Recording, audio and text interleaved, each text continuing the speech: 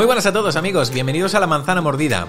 Hoy toca hablar de iOS 17. Sí, una actualización que, bueno, todavía queda para que salga, saldrá en septiembre, pero en estas primeras betas ya hemos visto bastantes diferencias con respecto a iOS 16. Algunas más y otras menos importantes, por supuesto.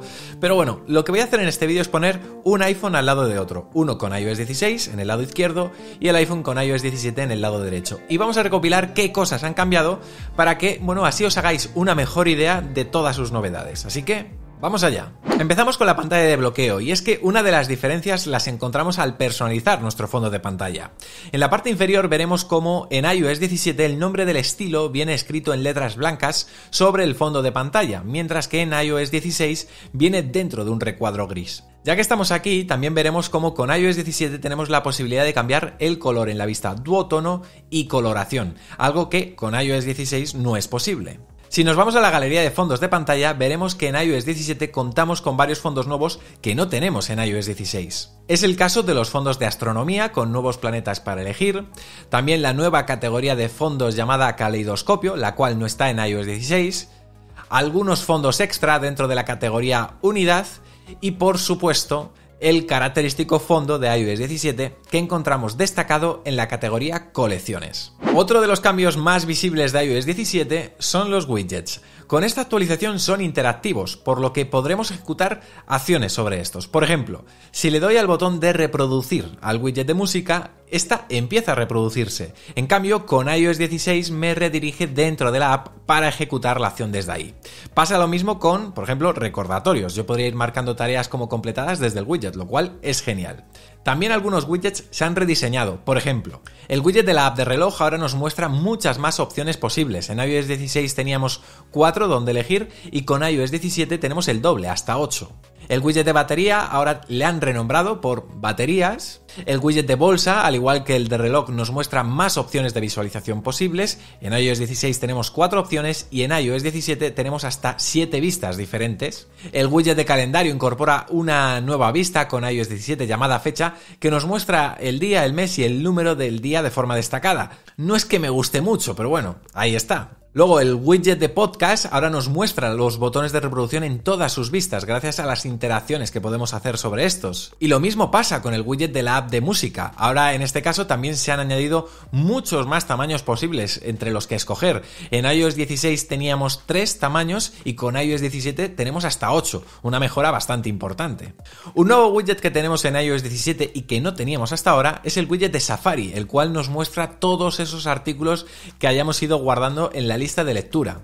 Y con respecto a los widgets no tengo mucho más que comentar, es posible que se me haya podido pasar algún detalle, pero los principales cambios son estos, así que continuamos. Bueno, ahora voy a repasar qué apps se han rediseñado con esta nueva versión, porque hay unas cuantas que suman cambios interesantes. Por ejemplo, la app de teléfono ahora nos permite tener una ficha de contacto mucho más personalizable, la cual verán nuestros contactos cuando les llamemos por teléfono, siempre y cuando ellos tengan iOS 17, claro. La forma de personalizar nuestra ficha se asemeja mucho a la de los fondos de pantalla, pudiendo crear varias diferentes y pudiendo ir cambiándola a nuestro gusto cuando nos apetezca. Otro cambio en la app de teléfono lo vemos en la pestaña de llamadas recientes, cual ahora eh, muestra mucha más separación entre cada llamada. Particularmente me gusta más la vista de iOS 16, que es más compacta y permite ver más cantidad en menos espacio. Pero bueno, esto es cuestión de gustos, al fin y al cabo. Nos vamos a Safari, que también estrena novedades con iOS 17 que no están presentes en iOS 16. Si pulsamos el botón de las ventanas, podremos ver una nueva vista que nos permite personalizar el perfil de navegación. Estos perfiles los podemos configurar en los ajustes y separan los marcadores, el historial, las cookies y las extensiones. Otra mejora importante de Safari en iOS 17 está en la navegación privada, la cual ahora bloquea su acceso para que solo podamos acceder usando el Face ID a través de código.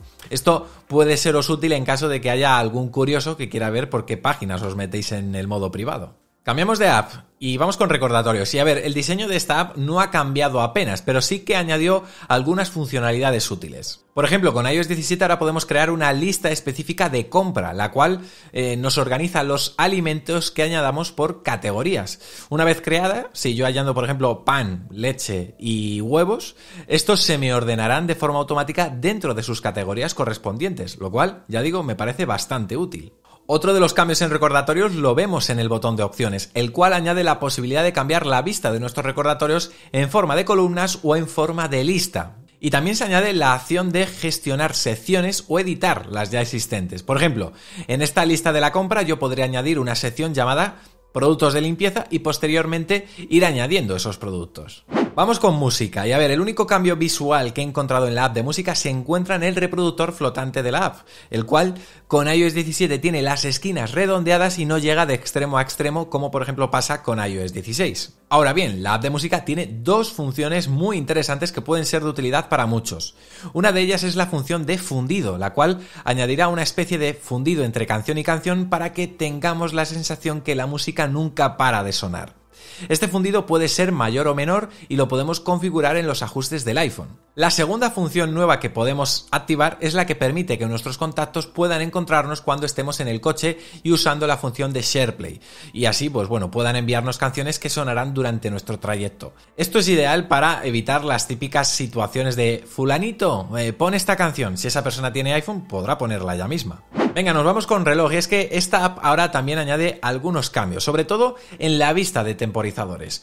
Con iOS 17 ahora podremos poner una etiqueta o un nombre al temporizador que queremos activar, lo cual es ideal si es un temporizador que vamos a activar regularmente. Pero sobre todo porque también ahora podemos activar múltiples temporizadores y así podremos visualizar mejor a qué corresponde cada uno de los que tengamos activados de forma simultánea. Como esta opción no es posible con iOS 16, por eso no tenemos la opción de ponerles nombres. Va, es el turno de la app de podcast, la cual cuenta con algunos cambios visuales. Por ejemplo, la pestaña a continuación ahora tiene una nueva interfaz que nos muestra la duración del episodio en cuestión y la carátula ha reducido su tamaño para poder mostrar los metadatos. Otro cambio lo vemos en el icono de la pestaña biblioteca en la parte inferior, la cual ahora muestra el icono de podcast dentro de ella. Y por último, la pestaña Buscar en iOS 17 eh, nos permite filtrar entre todos los podcasts del catálogo o por los podcasts que tengamos agregados en nuestra biblioteca.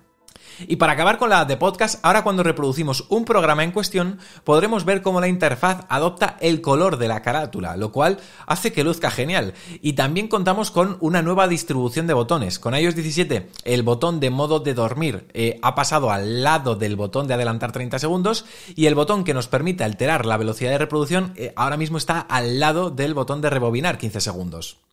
No sé qué os parece a vosotros, pero a mí, desde luego, me gusta mucho más esta nueva versión de la app de podcast.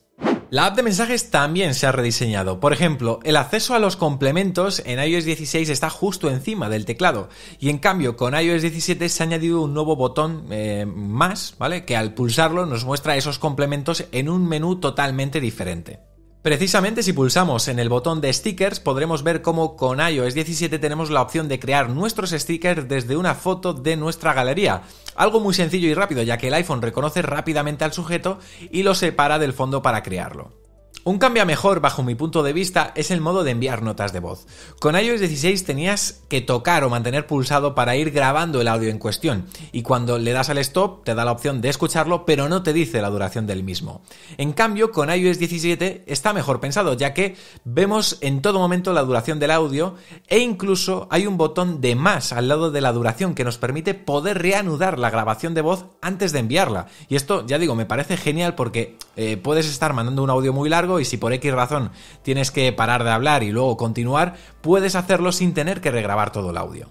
Dentro del menú de complementos también se ha añadido este que se llama comprobación, que permite avisar a nuestro contacto cuando lleguemos a nuestro destino. Este podrá ver datos como por ejemplo el trayecto, la batería restante en tus equipos y muchos más datos. Esto por ejemplo para padres con hijos puede ser muy útil. Y para terminar con las novedades en mensajes, ahora podremos responder un mensaje deslizando hacia la derecha el mensaje en cuestión dentro de la conversación. Algo que sí, ya lo sé, ya podemos hacerlo desde hace mucho tiempo en apps como Telegram o WhatsApp, pero que bueno, todavía mensajes no lo permitía. Cambiamos de app, vamos ahora con la app de salud, la cual cuenta con un leve rediseño en la pantalla de resumen. Si os fijáis, en la parte superior ahora cuenta con una transparencia que deja ver un tono anaranjado en el fondo.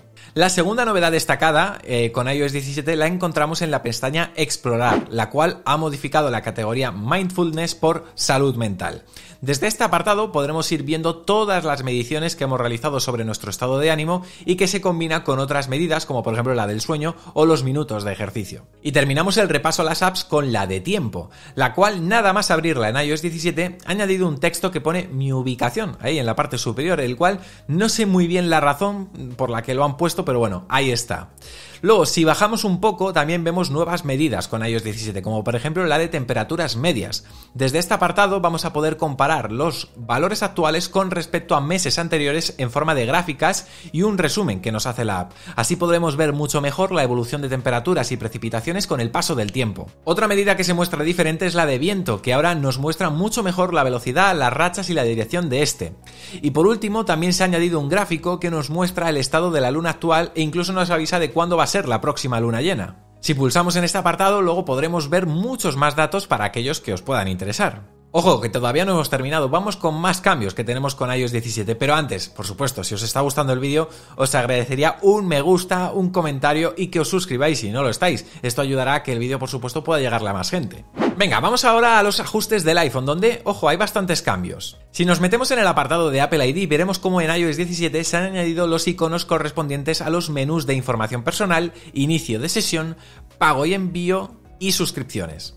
Dentro de los ajustes de almacenamiento vemos un par de cambios. El primero es en la barra superior. Ahora vemos en el centro de la misma la capacidad restante que tenemos. En mi caso, por ejemplo, eh, pues tengo libres más de 900 gigas. Y luego otro cambio en este apartado está en el menú que han puesto encima del listado de apps que ahora nos permite filtrar por las apps que más tamaño nos están ocupando, eh, filtrar por modo alfabético o por fecha de uso, poniendo arriba del todo las que hemos usado más recientemente, lo cual no está nada mal. Continuamos y ahora nos vamos a los ajustes del centro de control. Y aquí podemos ver cómo con iOS 17 se ha añadido un nuevo botón que es hacer sonar Apple Watch. Si lo añadimos a nuestro centro de control y lo pulsamos, nuestro Apple Watch empezará a sonar para que podamos localizarlo fácilmente en caso de que no sepamos dónde lo hemos dejado. Hace un momento os mencionaba que algunos iconos han cambiado en los ajustes y efectivamente, otro ejemplo lo podemos ver en los iconos de pantalla y brillo y pantalla inicio y biblioteca de apps. Precisamente este último, como veis, no solo ha cambiado el icono, sino también el nombre, porque en iOS 16 se llama simplemente pantalla de inicio. Más novedades. Eh, vamos ahora con los ajustes de privacidad. Y si bajamos un poco, veremos que en iOS 17 se ha añadido una opción llamada aviso de contenido sensible. Desde aquí podéis activar una opción que detecta fotos y vídeos con posibles desnudos que podamos recibir por la de mensajes y lo que hacen es difuminarlos antes de que podamos verlos para avisarnos de ello. Esto por supuesto está pensado para los niños. Nos vamos ahora con los ajustes de contraseñas. Como veis, este apartado se ha rediseñado en la parte superior, añadiendo iconos más visibles para las recomendaciones de seguridad y las opciones de las contraseñas. Precisamente si le doy al botón de opciones de las contraseñas, podemos ver otro ajuste nuevo, que es el de borrar automáticamente los códigos de verificación que recibimos por mensajes o mail una vez el iPhone detecta que los hemos introducido en la app en cuestión. Esto es la verdad bastante útil. Por último, también ahora podemos compartir las contraseñas que queramos con un grupo familiar o de amigos, es decir, no es estrictamente necesario que sea un miembro del grupo familiar. Continuamos, vamos ahora a los ajustes de recordatorios y aquí podemos ver dos cambios especialmente. Si bajamos podremos ver un botón llamado mostrar sugerencias para que nos vaya sugiriendo posibles recordatorios según vayamos escribiendo en la app y un último ajuste que nos permite restablecer las categorías de las listas de la compra que os he mostrado anteriormente.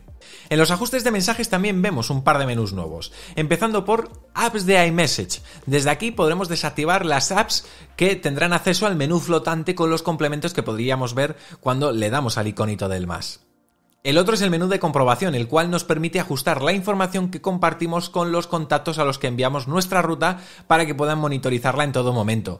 Como os dije antes, el ajuste completos nos permite ver todo el trayecto, la ubicación de la última vez donde se desbloqueó el iPhone e incluso si te has quitado el Apple Watch. Ya digo que esto, vamos, me parece genial. Uf, y ya vamos terminando, ¿eh? Vamos ahora con Safari. Si nos vamos a los ajustes, eh, veremos cómo la novedad la encontramos en el bloque dedicado a los perfiles. Desde aquí es donde vamos a poder ir creando todos los que queramos usar, pudiendo personalizar su icono, el color del perfil, las pestañas de favoritos e incluso las extensiones que queremos para cada uno. Seguimos avanzando. Si os fijáis ahora debajo del ajuste de salud tenemos uno nuevo dedicado a la app de fitness. Desde este podremos controlar los permisos a los que accede el servicio de Fitness Plus. Yo como no estoy dado de alta, pues bueno, no puedo mostraros mucho. Nos vamos a los ajustes de la app de cámara y ojo, porque hay uno que lo necesitaba como agua de mayo. Si nos vamos al menú de grabar vídeo y bajamos hasta el final, veréis que han añadido la opción de bloquear el balance de blancos. Esto de verdad era uno de los fallos más comunes del iPhone, sobre todo cuando grabas vídeos en interiores con luces que no son profesionales y que acaban volviendo loco el balance de blancos en los vídeos. Otro ajuste nuevo y bastante útil está dentro del bloque de composición, el cual en iOS 17 añade un nuevo nivel que nos permite, eh, cuando estemos haciendo una foto o un vídeo, detectar cuando tenemos el iPhone completamente recto y que así nuestra toma quede nivelada, nunca mejor dicho. Y terminamos repasando las diferencias que encontramos en los ajustes, centrándonos ahora en los cambios dentro del apartado de accesibilidad. Uno de los cambios lo vemos dentro de las opciones de movimiento, pudiendo desactivar las animaciones de las imágenes animadas en sitios web y apps. El resto de opciones son las mismas.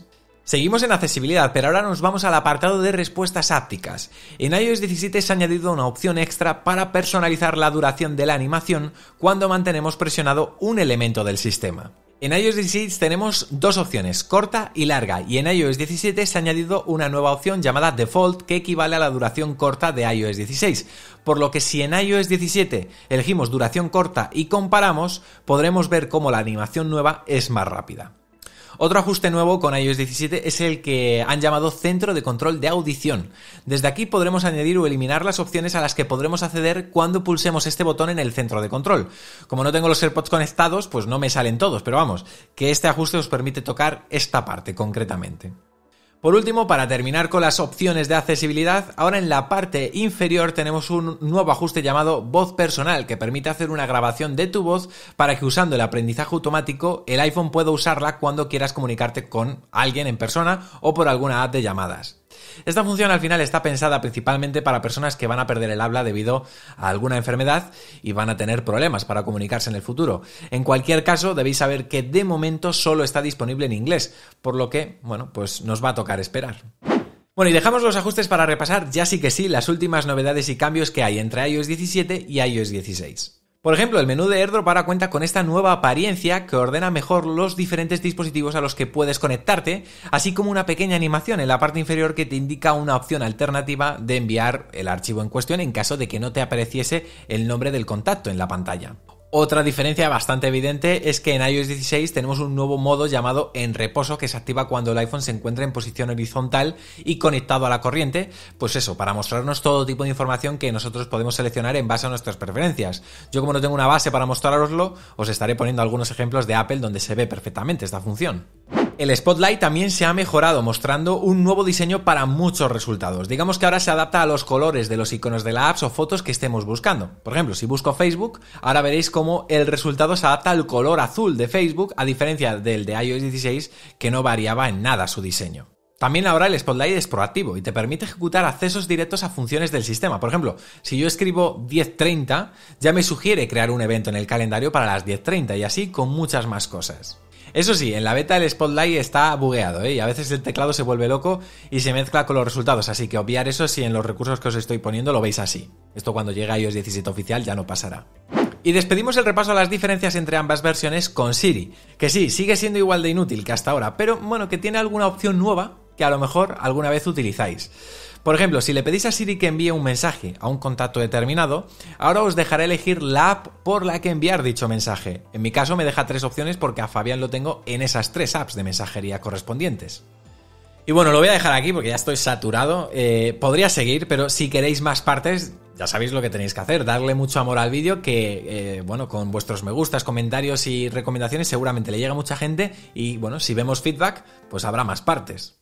Y si queréis apoyar el proyecto de la manzana mordida, recordad que podéis suscribiros en lamanzanamordida.com y disfrutar de contenido extra como pueden ser podcasts, cursos, una comunidad en Telegram y sorteos. Pero vamos, que lo más importante de todo es porque ayudaréis a que este proyecto siga siendo posible. Así que nada, muchas gracias y nos vemos en un próximo vídeo. ¡Chao!